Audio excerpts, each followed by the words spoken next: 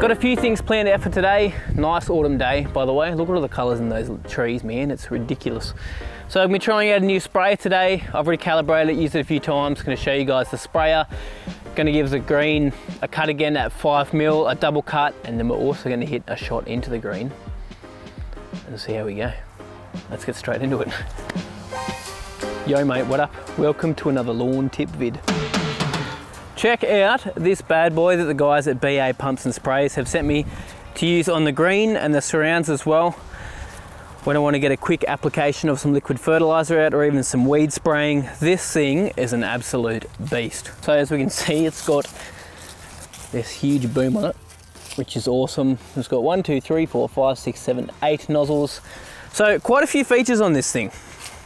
Quite a few features. It's got a foam sprayer, so it'll drop out some foam on either the left or the right side to show where you've sprayed when you're doing huge areas really, really handy. When we used to do huge areas on the golf course, on fairways and stuff, the foam, foam tanks and the foam foamers would just be super duper handy in situations where you could not see where you'd done your last pass. Not really something I need to do on the green at the moment because I can see once I've sprayed the reflection of the, the water off the green, it sort of shines in the sun, sunlight. But when it comes to doing fairways and stuff, this will be cool. This will be really, really cool. Now, a really cool reason why I've been using this on the greens, well I wanted this for the green, is because it's so lightweight. So it has a pressure gauge, as we can see here. So I've, I've um, calibrated in to the pressure. So I use about 30 litres of water over the whole green.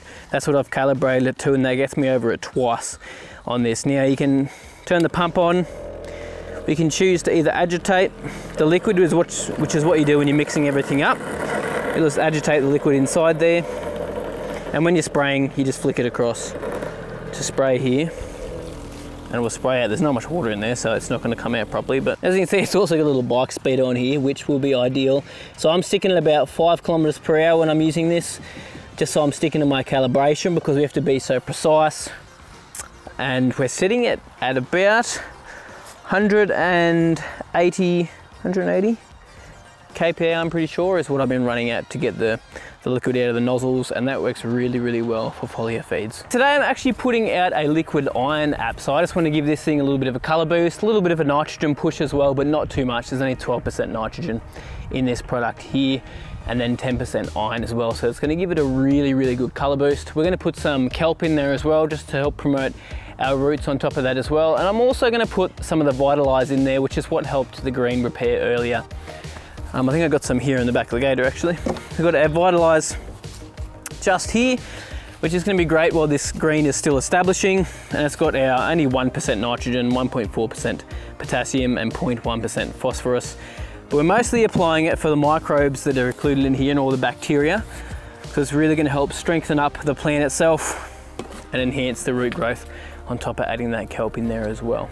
Really good for getting things to repair, as I've talked about, and that's what really helped us on the green two weeks ago after that roller damage. So that's just agitating at the moment. So I'm thinking about doing a video on how to calibrate sprayers for you guys. I'm actually gonna start a little mini series in the future where I do maybe a two minute, three minute tip video, just to give you guys really, really simple tips, but with lots of information in them, just dedicated to doing tips on how to do things in your lawn from weed spraying, why we top dress, why we need to calibrate sprayers, what you need to do when you put certain products down, heaps and heaps of topics. Let me know in the comments down below if there's anything you guys would like to see in the future. It'll probably be more towards the start of next season, but starting to get things geared up to start doing that as well. This is an extra video during the week for you guys to see.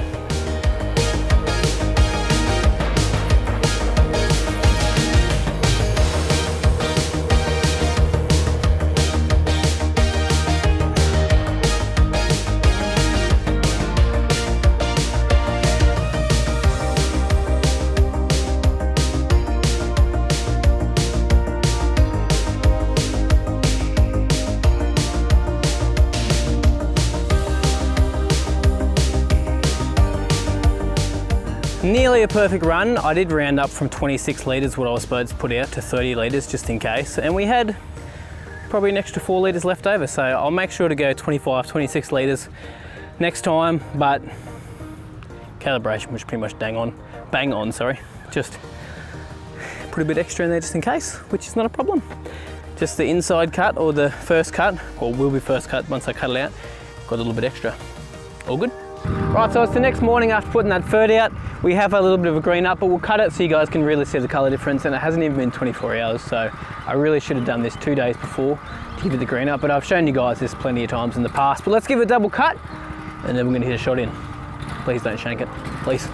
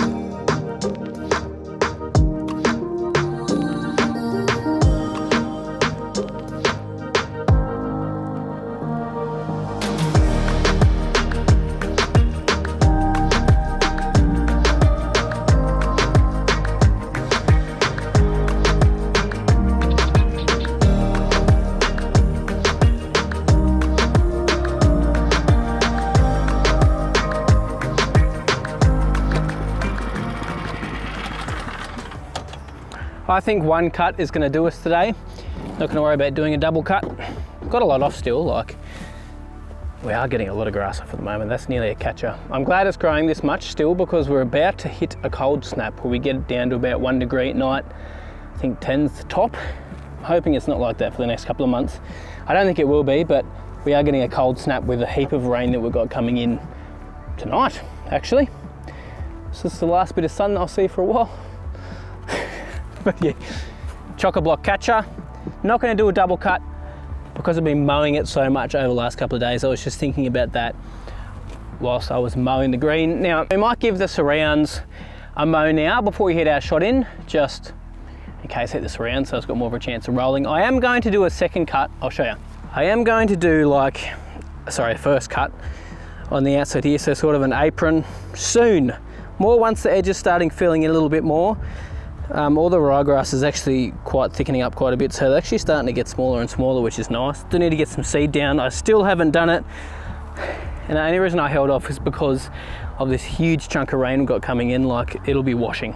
I have no doubt in my mind. Luckily there's enough um, grass there now to really stop anything soil washing, but seed still got a chance of washing. Could have got the tackifier out. I honestly just forgot about it. Let's be honest. um, but yeah, we're gonna we'll do an outside cut or inside cut or an apron. There's so many different names for a collar, whatever you want to call it. Very very soon. Just not today. Had a few guys asking about that.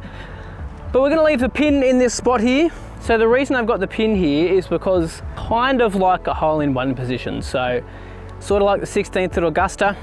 If something hits up a little bit higher on the hill, it all feeds to that spot just there and that's sort of how I designed well it is how I designed this pin placement just here that if you chucked a ball here for example it should feed down towards the hole as you can see. Now that's going to be behind the hole because I threw it too far too much in that direction sorry but if we have a ball coming down and landing here I'll show you I'll throw a ball up.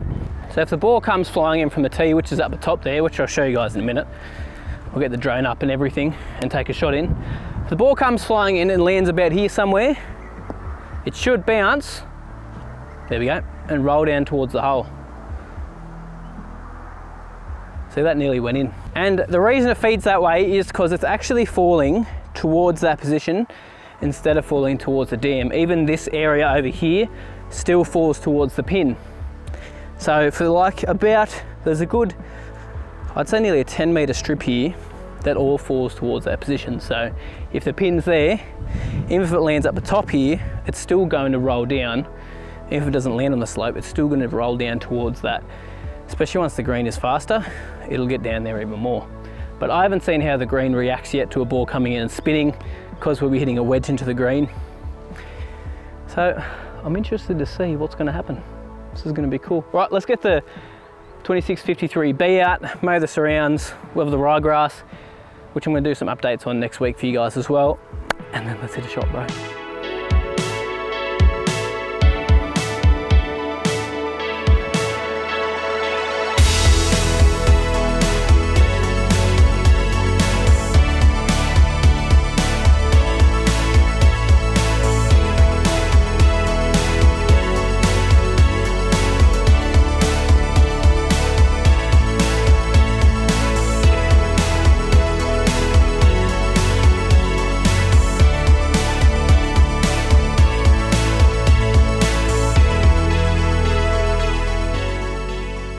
Surrounds are done, looking good apart from the weeds, which yes, I'm going to spray them with the follow-up. It's just the rain's coming in tomorrow.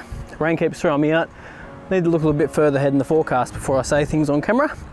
But it's looking schmick, look at that. Look at the colour at the moment, man. Those trees are popping, grass is popping. Needs a bit of a fert though, so I might get some liquids on it next week. But the green's popping as well. Look at that colour too. It definitely has greened up since we put some liquid on it yesterday. Hasn't even been 24 hours and we've got some colour popping. Mm. Well, let's hit this shot. Let's do it. All right, well here we are. Got the bag out. You can see the green all the way down there. This is the tee where it's going to be eventually, up the back corner of the paddock. I've just mowed out a little patch here. What a view, eh? How good is that? So rangefinder, we're going to hit from about here-ish to the pin. It is 101 meters. Now it's quite a fair drop downhill. I'd say about there's about seven to 10 meters of elevation drop between here and there. So it's going to be a 54 degree for me. I'm going to uh, be targeting at about a little bit left on the hill. Now there's wind coming off the northwest. It's about 20 k's an hour. Actually quite a breeze coming in. So it's going to push it to the right anyway. So we'll aim at my spot up the top of the green on the left. See what happens now. This could be bad. Let's see how we go. right, let's do it. I'm nervous for some reason.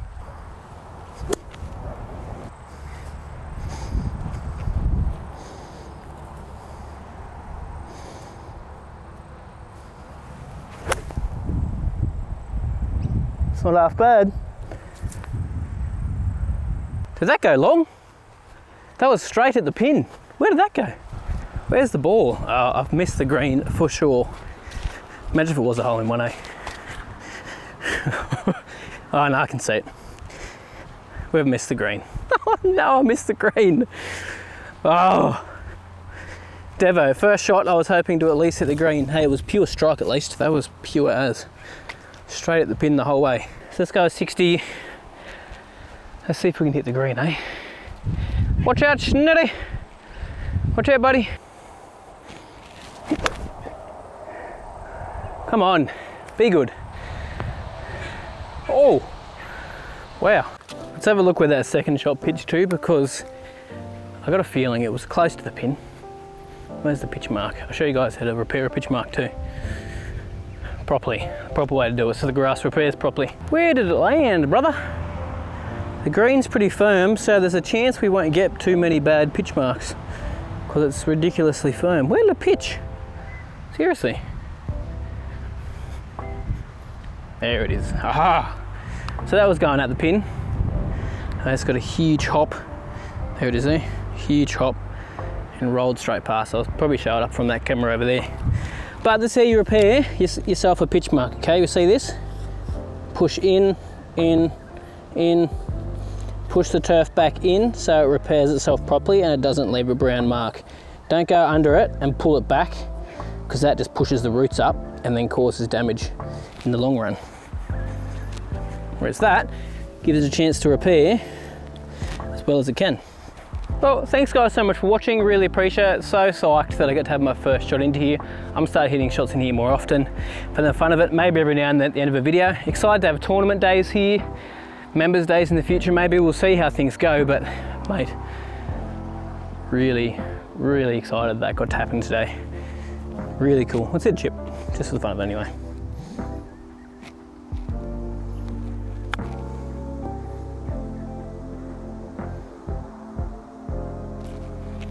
Not bad, not bad at all. Thank you everyone so much for watching. Appreciate you. Appreciate the support from all of you over this whole journey. Really cool. Tip my first shot in, and that was legit my first shot. I had controlled myself, even while the cameras weren't rolling, to not hit a shot in because I wanted to capture it on camera. Thanks guys so much. Hope you guys have a good week, and I'll see you guys very soon for the next video. it's going to be good for my short game, my practice meeting. I tell you what, it's to be so good having this little golf course here.